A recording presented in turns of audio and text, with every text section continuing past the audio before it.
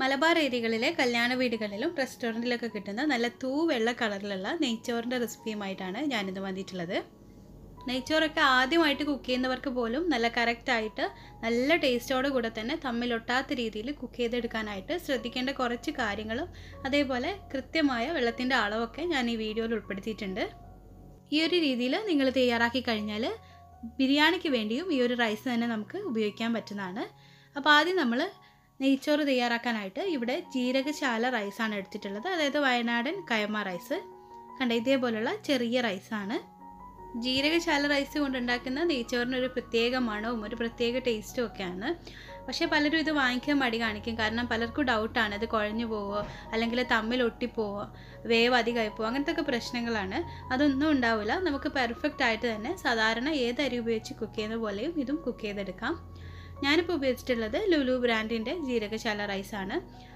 അതേപോലെ തന്നെ ബർദമാൻ റോസ് എന്ന് പറഞ്ഞ ബ്രാൻഡും നല്ലതാണ് കേട്ടോ. അതാണ് കല്യാണ വീടുകളിലൊക്കെ കോമൺ ആയിട്ട് ഉപയോഗിക്കുന്നത്.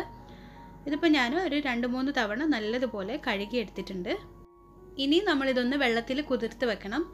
ഈ വെള്ളത്തിൽ നമ്മൾ ഇതേപോലെ ഒരു ഇരുപത് മിനിറ്റ് അങ്ങ് കുതിർത്ത് വെച്ച് കഴിഞ്ഞാൽ നമുക്ക് തമ്മിലൊട്ടാതെ പൊടിഞ്ഞു പോവാത്ത നല്ല പെർഫെക്റ്റ് ആയിട്ടുള്ള റൈസ് തന്നെ കുക്ക് ചെയ്തെടുക്കാൻ പറ്റും. അപ്പോൾ ആദ്യം നമ്മൾ കഴുകിയതിന് ശേഷം വെള്ളത്തിൽ ഒരു ഇരുപത് മിനിറ്റ് കുതിർത്ത് വെച്ചാൽ മതി. ഞാനിപ്പോൾ ഇവിടെ ഒരു നാല് കപ്പ് അരിയാണ് എടുത്തിട്ടുള്ളത്.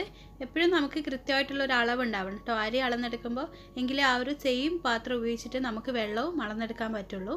അപ്പോൾ അരി ഒരു ഇരുപത് മിനിറ്റ് കുതിരട്ടെ. ആ ഒരു സമയത്ത് തന്നെ നമുക്ക് ചോറിനേക്കുള്ള ഉള്ളി ഒന്ന് പൊരിച്ചെടുക്കണം.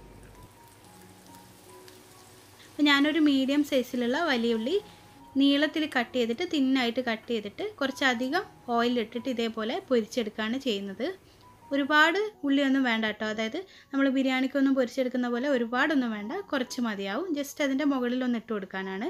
എന്നിട്ട് ഇതുപോലെ ഒരു ഗോൾഡൻ ബ്രൗൺ കളറാകുമ്പോൾ നമുക്ക് എണ്ണയിൽ നിന്ന് കോരിയെടുക്കാം.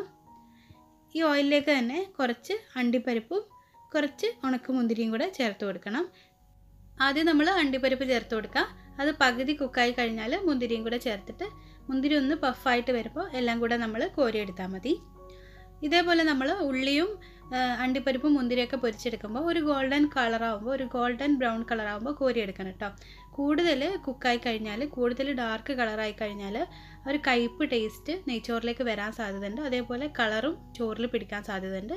ഇതേപോലെ ഒരു കറക്റ്റായിട്ടൊരു ഗോൾഡൻ ബ്രൗൺ കളറായാൽ കോരിയെടുത്തിട്ട് നമുക്കിതങ്ങ് മാറ്റി വെക്കാം. ഇനി നമ്മൾ ചോറ് വെക്കാനായിട്ട് അത്യാവശ്യം അടി കട്ടിയുള്ള ഒരു പാത്രം അടുപ്പിൽ വെച്ചിട്ടുണ്ട്. ഇതിലേക്ക് രണ്ട് ടേബിൾ സ്പൂണ് ഡാൽഡ ചേർത്ത് കൊടുത്തിട്ടുണ്ട്. ഡാൽഡ ആണ് കേട്ടോ പ്രത്യേകം ഒന്ന് ശ്രദ്ധിക്കുക അതേപോലെ തന്നെ നമ്മൾ നേരത്തെ ഉള്ളി പൊരിച്ചപ്പോൾ ബാക്കിയുള്ള ഓയിലില്ലേ അതിൽ നിന്നും ഒരു ടേബിൾ സ്പൂൺ ഓയിൽ കൂടെ ചേർത്ത് കൊടുക്കുക ഇതിലേക്ക് നമ്മൾ ഒരു നാല് ഏലക്കായ നാല് ഗ്രാമ്പു ഒരു മൂന്ന് ചെറിയ കഷ്ണം പട്ട ഇതുകൂടെ ചേർത്ത് കൊടുത്തിട്ട് നല്ലതുപോലെ ഒന്ന് മൂപ്പിച്ചെടുക്കുക ടിപ്പിക്കൽ കോഴിക്കോടൻ സ്റ്റൈൽ നെയ്ച്ചോറിൽ ഈ ഒരു സമയത്ത് ഉള്ളി ചേർത്ത് വഴറ്റാണ് ചെയ്യുന്നത്. പക്ഷെ ഞാനിവിടെ ചെയ്യുന്നത് വെള്ളം ഒഴിച്ചു കൊടുക്കുകയാണ് ഒരു കപ്പ് അരിക്ക് ഒന്നര കപ്പ് വെള്ളമാണ് ചേർക്കേണ്ടത്. അതായത് നാല് കപ്പ് അരിക്ക് വേണ്ടിയിട്ട് ആറ് കപ്പ് വെള്ളമാണ് ഞാനിവിടെ എടുത്തിട്ടുള്ളത്. ആറ് കപ്പിൽ നിന്നും ഒരു കപ്പ് അങ്ങ് ഒഴിവാക്കിയിട്ട് അഞ്ച് കപ്പാണ് ഞാനിവിടെ ചേർത്ത് കൊടുക്കുന്നത്. അതായത് നമ്മൾ എടുത്തിട്ടുള്ള അരിക്ക് എത്ര വെള്ളമാണോ വേണ്ടത് അതിൽ നിന്ന് നമ്മൾ ഒരു കപ്പ് അങ്ങ് എടുത്ത് ഒഴിവാക്കുക. എന്നിട്ട് ബാക്കിയുള്ള വെള്ളം ഫുള്ളായിട്ട് ഇതിലേക്ക് ചേർത്ത് കൊടുത്തിട്ട് ആവശ്യത്തിന് ഉപ്പും ചേർത്ത് നന്നായിട്ട് ഒന്ന് ഇളക്കി കൊടുത്തിട്ട് കവർ ചെയ്തിട്ട് ഇത് തിളക്കാനായിട്ട് വെച്ച് കൊടുക്കണം. സാധാരണ വെള്ളമാണ് ചേർത്ത് കൊടുത്തിട്ടുള്ളത്. നമ്മൾ സാധാരണയായിട്ട് ഏത് പാത്രത്തിലാണോ അരി അളന്നെടുക്കുന്നത് ആ ഒരു പാത്രത്തിൽ തന്നെ വെള്ളം അളന്നെടുക്കാനായിട്ട് പ്രത്യേകം ശ്രദ്ധിക്കണം കേട്ടോ. ഇനി ഇത് തിളച്ച് വരട്ടെ. ഇതിപ്പോൾ നല്ലതുപോലെ തിളച്ച് വന്നിട്ടുണ്ട്. ഇനി നമുക്കിതിലേക്ക് അരി ചേർത്ത് കൊടുക്കാം. നമ്മൾ നേരത്തെ വെള്ളത്തിൽ കുതിർത്ത് വെച്ചിട്ടുള്ള അരി ഞാൻ വെള്ളം കളഞ്ഞെടുത്തതാണ്. അരി വെള്ളത്തിലേക്ക് ചേർക്കുമ്പോൾ കുതിർത്ത് വെച്ചിട്ടുള്ള വെള്ളം ഫുള്ളായിട്ട് ഒഴിവാക്കിയിട്ട് ചേർത്ത് കൊടുക്കണം കേട്ടോ. എന്നിട്ട് നല്ലതുപോലെ ഒന്ന് മിക്സ് ചെയ്ത് കൊടുക്കുക. അടി കൂട്ടി മിക്സ് ചെയ്യണം കേട്ടോ. അതായത് അടിയിൽ തട്ടുന്ന രീതിയിൽ നമ്മൾ ഉപയോഗിച്ചിട്ടുള്ള കയ്യിൽ അടിയിൽ തട്ടുന്ന രീതിയിൽ നല്ലതുപോലെ ഒന്ന് മിക്സ് ചെയ്ത് കൊടുക്കണം. ഇനി നമുക്കിത് കവർ ചെയ്തിട്ട് ഹൈ ഫ്ലെയിമിൽ വെച്ചിട്ട് രണ്ട് മുതൽ മൂന്ന് മിനിറ്റ് വരെ ഇതൊന്ന് കുക്ക് ചെയ്തെടുക്കണം. ഏകദേശം ഒരു രണ്ട് മൂന്ന് മിനിറ്റിന് ശേഷം നമ്മൾ മൂടി തുറന്ന് നോക്കിയിട്ട് നല്ലതുപോലെ ഒന്ന് ഇളക്കി കൊടുക്കണം. അപ്പോഴേക്കും നമ്മൾ ചേർത്തിട്ടുള്ള അരിയും വെള്ളവും സമത്തിലായിട്ടുണ്ടാവും. അതേപോലെ നല്ലതുപോലെ ഈ വെള്ളം വെട്ടി തിളക്കാൻ തുടങ്ങിയിട്ടുണ്ടാവും. ഈ ഒരു സമയത്ത് നമുക്കിതിലേക്ക് കട്ടിയില്ലാത്ത ഒരു കപ്പ് തേങ്ങാപ്പാൽ ചേർത്ത് കൊടുക്കണം. തേങ്ങാപ്പാലിന് പകരമായിട്ട് നിങ്ങൾക്ക് വേണമെങ്കിൽ പശുവും പാൽ ഉപയോഗിക്കാം കേട്ടോ. തേങ്ങാപ്പാൽ എടുക്കുമ്പോൾ തിന്നായിട്ടുള്ള തേങ്ങാപ്പാൽ എടുക്കാനായിട്ട് ശ്രദ്ധിക്കണം. അതായത് നേരിയ തേങ്ങാപ്പാൽ എടുക്കാനായിട്ട് ശ്രദ്ധിക്കണം. ഇത് ഫുള്ളായിട്ട് ഇതിലേക്ക് ഒഴിച്ചു കൊടുക്കാം. അപ്പോൾ നമ്മൾ നേരത്തെ നാല് കപ്പ് അരിക്ക് ആറ് കപ്പ് വെള്ളം എന്നുള്ളത് അഞ്ച് കപ്പ് വെള്ളം ചേർത്തു. ഇപ്പോൾ ഒരു കപ്പ് തേങ്ങാപ്പാലും ചേർത്ത് കൊടുത്തു. ഇനി നമുക്കിതിലേക്ക് കുറച്ച് ക്യാരറ്റ് ചെറുതായിട്ട് കട്ട് ചെയ്തത് ചേർത്ത് കൊടുക്കാം. ക്യാരറ്റ് ഈ ഒരു സമയത്ത് ചേർത്ത് കഴിഞ്ഞാൽ ക്യാരറ്റിന്റെ കളറൊന്നും ചോറിലേക്ക് പിടിക്കില്ല. അപ്പോൾ കറക്റ്റായിട്ട് തന്നെ നമുക്ക് നല്ല വൈറ്റ് കളറിലുള്ള നെയ്ച്ചോറ് റെഡിയാക്കി എടുക്കാനായിട്ട് പറ്റും. അപ്പോൾ ക്യാരറ്റ് കൂടെ ഇട്ട് കൊടുത്തതിന് ശേഷം നല്ലതുപോലെ ഒന്ന് മിക്സ് ചെയ്ത് കൊടുക്കാം. ഇനി നമുക്കിതിലേക്ക് ഒരു മൂന്ന് നാല് പുതിന ഇല ചേർത്ത് കൊടുക്കണം. ഈ ഒരു സമയത്ത് നിങ്ങൾക്ക് വേണമെന്നുണ്ടെങ്കിൽ പുതിന ഇല കയ്യിലില്ല എന്നുണ്ടെങ്കിൽ മൂന്ന് നാല് കറിവേപ്പില ചേർത്ത് കൊടുത്താലും മതി. ഇനി ഇത് കവർ ചെയ്തിട്ട് ലോ ഫ്ലെയിമിൽ വെച്ചിട്ട് അതായത് ഏറ്റവും ചെറിയ തീയിൽ വെച്ചിട്ട് നമ്മൾ കുക്ക് ചെയ്തെടുക്കണം. ഇനി നമ്മളിത് ഇടയ്ക്കിടെ ഇളക്കൊന്നും ചെയ്യരുത് കേട്ടോ ഇതേപോലെ തന്നെ അങ്ങ് വെച്ച് കൊടുത്താൽ മതി.